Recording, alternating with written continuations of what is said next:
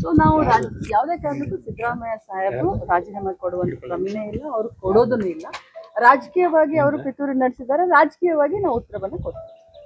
ಮುಂದಿನ ದಿನಗಳಲ್ಲಿ ಅವ್ರು ಅರೆಸ್ಟ್ ಮಾಡಿದ್ದಾರೆ ಅವಾಗಾದ್ರೂ ರಾಜೀನಾಮೆ ಕೊಡಲೇಬೇಕಾಗತ್ತಲ್ಲ ಅವಾಗೇನು ನೋಡಿ ಊಹಾಪೋಹಗಳು ಮುಂದೆ ಹಿಂಗಾಗತ್ತೆ ನಾಳೆ ಹಂಗಾಗತ್ತೆ. ನಾನು ಅದ್ರ ಬಗ್ಗೆ ಮಾತಾಡೋದಿಲ್ಲ. ಒಂದೇ ಮಾತನ್ನ ಹೇಳ್ತೀನಿ. ಇವತ್ತು ರಾಜ್ಯಪಾಲರ ಕುರ್ಚಿ ಆಗಿರ್ಬೋದು ರಾಜ್ಯಪಾಲರನ್ನ ಆಗಿರ್ಬೋದು ಈ ರೀತಿ ಬಿಜೆಪಿಯೇತರ ಪಕ್ಷಗಳ ಯಾವುದೇ ಸರ್ಕಾರ ದೇಶದಲ್ಲಿ ಬಂದರೆ ಈ ರೀತಿ ಕಾಡಿಸ್ತಾ ಇರೋದು ಸರ್ವೇ ಸಾಮಾನ್ಯ ಆಗಿದೆ. ಈಗಾಗಲೇ ನಾನು ಮುಂಚೆನೇ ಹೇಳ್ದ ಹಾಗೆ ಈಗಾಗಲೇ ಒಂದು ತನಿಖೆ ನಡೀತಾ ಇದೆ. ಏನು ನಿವೃತ್ತ ನ್ಯಾಯಾಧೀಶರ ಒಂದು ಲೀಡರ್ಶಿಪ್ನಲ್ಲಿ ಒಂದು ತನಿಖೆ ನಡೀತಾ ಇದೆ.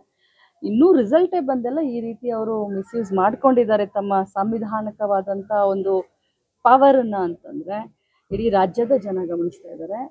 ಒಕ್ಕೋಡ್ಲಿಂದ ಕಾಂಗ್ರೆಸ್ ಪಕ್ಷದ ಎಲ್ಲ ಶಾಸಕರು ಎಲ್ಲ ಮಂತ್ರಿಗಳು ಇವತ್ತು ಮಾನ್ಯ ಮುಖ್ಯಮಂತ್ರಿಗಳ ಬೆನ್ನಿಗೆ ನಿಂತಿದ್ದೀವಿ.